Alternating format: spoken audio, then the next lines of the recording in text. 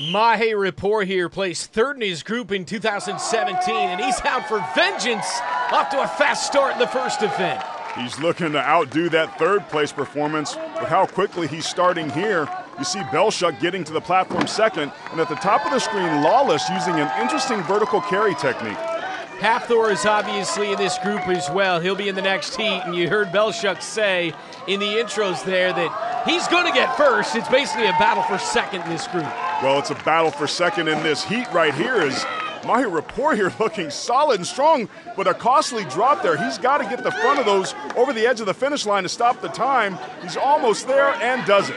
But now you wonder, though, if that opened up the door for somebody else in the next heat to win the overall event. Maheripourehir is able to rip off his shirt after taking his heat here. And Belsak, slow and steady, wins the race for him, finally getting across with an impressive time. Lawless really struggling in that far lane, only able to get one sack up.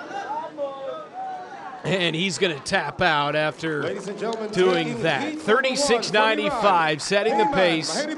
With the Heat 1 win is Peiman Mahi Rapport here. Maheripourehir was in control from start to finish. Just a great effort that he has to feel proud about starting off in this competition. Hafthor's eighth appearance.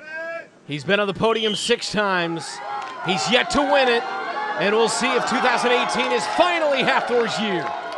Hafthor being as tall as he is is a real advantage, not only to drop the sacks instead of having to lift them up on the platforms like the other competitors, but he's also got longer arms, which makes it really easy for him to grab onto these sacks, where some of the other competitors with shorter arms are really struggling, like at the top we see with Rob Kearney also using that vertical carry technique. And now he drops it. Now, here's the deal. Hafthor, the time to beat is 36.95. He's going to win the heat.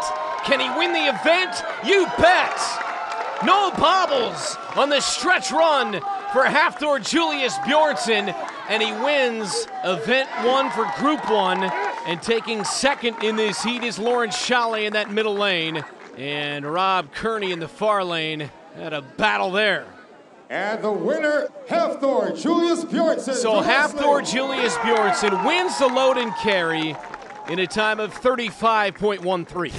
Hafthor was so smooth throughout this competition. Look how he's stabilizing the carry frame as it rocks back and forth, those big size 16 shoes gliding across the finish line.